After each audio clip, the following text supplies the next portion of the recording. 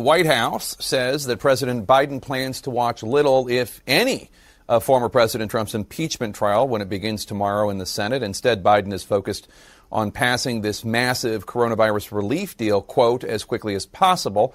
But new fractures in the Democratic Party are threatening to derail that deal, including a public debate over whether or not raising the federal minimum wage should be part of the bill and just how many Americans should get a $1,400 stimulus check, as CNN's Kaitlan Collins reports. Returning to Washington today, President Biden immediately faced questions about his predecessor's looming impeachment trial. Look, he's got an offer to come and testify. He's decided not to. We'll let the Senate work that out. For weeks, Biden has gone out of his way to avoid weighing in on former President Trump's fate, as aides say he'll be too busy to watch the proceedings. I think it's clear uh, from his schedule uh, and from his intention he will not spend uh, too much time watching the proceedings of any time uh, over the course of this week. All right. Biden is set to counter program Trump's trial as he attempts to keep the focus on his legislative debut, a $1.9 trillion coronavirus relief package. We've already announced his plans to go visit the NIH, to go visit the Department of Defense. Biden has moved on from courting Republican support and is now focusing on fast tracking the bill with only Democrats on his side. Obviously, it's the most likely path at this point is through a reconciliation process. But now Democrats must battle it out over the bill and whether to include Biden's $15 minimum wage proposal, which he hinted in an interview Friday wouldn't make the final cut. Apparently, that's not going to occur because of the rules of the United States Senate. So you're saying the minimum wage won't be in this? My rec- guess is it will not be in it. But that was before the Senate parliamentarian had ruled whether the minimum wage requirement could be included. Who had told him that he, it wasn't going to make it through likely? Well, uh, the president was uh, in uh, Congress for in the Senate for 36 years. Uh, again, it still has not worked its way through the process, and that can take uh, a bit of time. And we certainly defer to the parliamentarian. While Biden seemed ready to move on without the minimum wage increase included for now, other progressives are still pushing for it. I can tell you, as chairman of the Budget Committee, we have a, a room full of lawyers working as hard as we can to make the case to the parliamentarian that, in fact, raising the minimum wage will have significant budget implications Now, Jake, Democrats are also planning a child tax credit that would be part of this coronavirus relief proposal. Right now, the framework is about $3,600 for children per children under six years of age, about 3,000 going up until 17 years of age. Of course, that would phase out depending on how much money the parents were making, about $75,000 for individuals, $150,000 for couples, though we should note that is far from final and it's still got to go through the Senate as they're working on this proposal right now as it is. And Kaitlan, White House Press Secretary Jen Psaki today trying to clean up uh, President Biden's comments after he told Norah O'Donnell that former President Trump should not get intelligence briefings because of his, quote, erratic behavior. Yeah, Jake, that was news in and of itself that a, pr- current president would say that about a former president because, of course, former presidents enjoyed that access as a courtesy. But the White House is now saying that this is not a final decision that President Biden has made, and instead they are still going to rely on those intelligence officials for what this decision should be. He was expressing his concern about former President Trump receiving access to sensitive intelligence. Uh, but he also has deep trust in his intelligence, own intelligence team to make a determination about how to provide intelligence information if at any point the former president requests a briefing. So that last part there is also critical to this, Jake, because then I later asked Jen Psaki to clarify has President Trump asked for an intelligence briefing, and she said not that she knows of. They could just blame this all on Trump's former deputy director of national security uh, or national intelligence, Sue Gordon, who's the one who raised this. I don't know why they're handling this so clumsily. Uh, Kaitlan Collins, uh, thanks so much. Appreciate it. Let's bring in my team to discuss. Gloria, uh, let's first start with this balancing act for Democrats. You Yeah. heard Kaitlan detailing these emerging splits in the Democratic Party, specifically over the minimum wage uh, and the stimulus checks, who should get them, what the threshold is uh, for income. Is there a risk here that Biden's first big bet, this COVID relief deal, ends up falling apart? Well, there is th- there is a risk, and uh, let me tell you two words: Joe Manchin. Joe Manchin is somebody who is a very moderate Democrat, West Virginia, and he came out and said, and he got other moderates to agree with him to say, look, I don't want it to be 150,000. I'd rather it were a $100,000 top uh, earning per couple if you're to get these stimulus checks. And you know, now it's much more than that. So I think there's going to have to be some give on the targeting of these stimulus checks. And the president has indicated that, that that might be okay with him. The minimum wage, you know, you heard Bernie Sanders say they're going to try and find a way to make this happen, but the president kind of threw in the towel when he spoke with Norah O'Donnell, and that's got lots of progressives upset. So he's got to keep his 50 votes together, and that's becoming more and more difficult. Meanwhile, Ayesha, progressives are hammering Biden and Senate Democrats uh, for talking about the stimulus check being $1,400 for individuals. The way that they get that figure is you combine with the December checks for $600 per individuals. That makes $2,000. But after the December deal passed in January, Biden, Harris, Warnock, and Ossoff in Georgia, they were talking about cutting a $1,400 stimulus check. They were talking about $2,000. Uh, as our friend Mehdi uh, Hasan says, this is a broken promise in, in the view of progressives. Is that fair?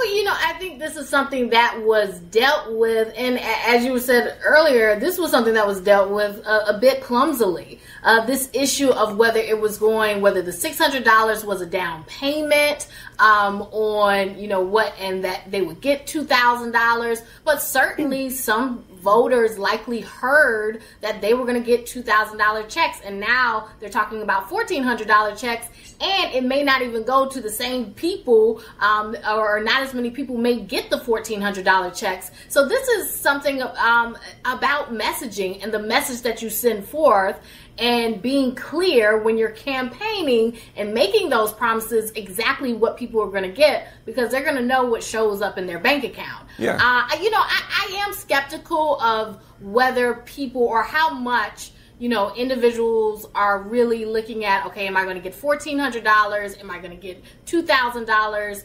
I, I, think that because they got the $600 in the past, I'm not sure whether voters, how much they will hold Democrats to account for that. But overall, people are looking for help. They're looking for something that is going to make a difference. And I think that if they don't see some material changes in their, you know, their own predicaments in their own life, uh, that's what's gonna, what Democrats are gonna have to pay a price for. And Gloria, while dealing with all this, the new Senate Majority Leader Chuck Schumer is also trying to fend off possible primary challengers from the progressive left at home in New York. The New York Times writes, quote, armed with a sweeping set of policy promises, he's courting the activists, organizers, and next generation elected officials in New York who would likely make up the backbone of any effort to dethrone him should one ever arise. It's kind of the uh, Ed Markey approach to right. keeping keeping his Senate seat, uh, fending off the challenge from Joe Kennedy. Uh, is there a risk that if it's a smaller than expected COVID deal, that could hurt Schumer? Sure. Uh, look, he's trying to cover his left flank, and uh, it's a it's a really large problem. I mean, you have AOC out there saying that you can't cut back the income level of those who are entitled to get these checks, pushing for the minimum wage increase, and you have the president listening uh, to moderates within his own party. He's also listening to some Republicans on that to target the stimulus a little bit more. Everybody knows uh, Joe Biden of yore is somebody who actually liked to negotiate and cut these deals, but he feels pressure from the left as well. So where they end up is going to be very important to Chuck Schumer.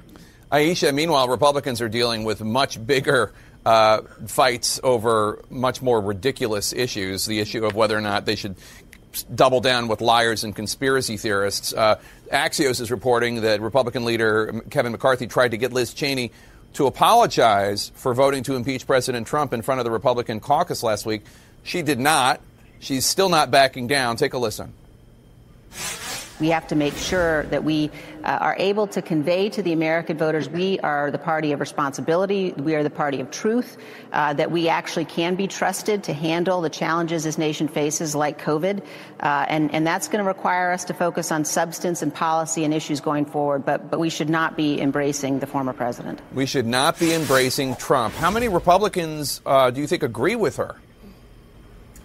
Well, publicly, I, I don't think you're going to get a whole bunch of them. I mean, you'll have Liz Cheney's, the Liz Cheney's of the world, Mitt Romney in the Senate, and some others. Uh, you know, Ben Sasse. Uh, but you're not going to have, you know, and we've seen in the Senate, in the House, that uh, you you're not going to have that support or that turning away from president from former President Trump. You're just not seeing that. Uh, Liz Cheney is, you know, basically said, you know, hold the vote on me, see, you know, and she she's still in her number three spot, and so now she is emboldened and she's making a bet or she, you know, uh, it, it can happen. She may be standing on principle that the idea that, you know, this party, that Trump cannot be the future of the Republican Party. That is the stand she's taking. It will be interesting to see in the future what voters say. What does the base of the Republican Party say? Because right now, they have not broken with Trump. So will they make the Liz Cheney's of the world and uh, you know others who have been critical? Will they make them pay? And because they're the ones that are really going to decide what the future of the Repo- Pro- Republican Party is. Yeah, Ayesha Rascoe and Gloria Borger, thanks so much. Sure. Really appreciate it. Uh, we'll be right back. You're listening to this podcast, so it's pretty safe to assume that you follow the news. During times like these, full of anxiety and uncertainty, it's important to manage your stress and make sure you're getting a good night's sleep. Calm is a powerful app that helps you achieve just that. Inside Calm, you'll find relaxing soundscapes, guided meditations, and over a hundred sleep stories narrated by soothing voices like Stephen Fry, Kelly Rowland, and Laura Dern. And they're adding new content every week, all of it designed to help you ease stress and rest well. Over 85 million people around the world use Calm to take care of their minds and sleep better. And if you go to calm.com slash the lead, for a limited time, you'll get 40% off a Calm premium subscription, which includes hundreds of hours of programming. Get the Calm app and transform the way you sleep. Start today at calm.com slash the lead. In Conflict of Interest Watch in our politics lead, in December, I had a simple question for then President elect Joe Biden. Will your brothers, uh, will your son take leave from any business interests, not just foreign, but any business interests that might create any, uh, even appearance of impropriety? My son, my family will not be involved in any business, any enterprise that is in conflict with or appears to be in conflict, whether there's appropriate distance from the presidency and government. It's not clear, however, if the Florida law firm that the president's brother, uh, Frank, works for is honoring that pledge. Frank Biden is a senior advisor for the Berman Law Group. He's not an attorney, but he's a senior advisor, and he's profiled prominently on the firm's website. The firm also featured Frank Biden's ties to the president in a Florida newspaper ad that just happened to run on Inauguration Day. To discuss, let's bring in Walter Shaub. He was director of the Office of Government uh, and Ethics and, and, left under Trump in 2017. We should note before angry tweets that Walter has been a fierce critic of the sleaze and the thousands of conflicts of interest that occurred during the Trump years. So he's been consistent. Let's talk about the Bidens, though, if we can, Walter. Last year, this law firm filed two lawsuits against China related to the pandemic. The firm told CNN, quote, there have been no discussions including between the firm, including Frank Biden, with President Biden, the campaign, transition, or administration about the law firm or any cases, including China related matters, nor will there be. The White House says uh, that its counsel's office, family representatives have a process to address potential conflicts of interest. The law firm may not have done anything wrong. What do you th- think here? Is there a problem, at least, with the appearance of a conflict of interest? I think there is a problem here, and it's an appearance problem, admittedly, but appearance matters in a period when we're trying to rebuild after what was inarguably the most unethical presidency in our history. We have Joe Biden coming in as a reformer and having pledged that there would be a real distance between him and his family. And already we've seen Frank Biden's law firm touting his connection uh, to the firm and noting that he's a relative of the president's.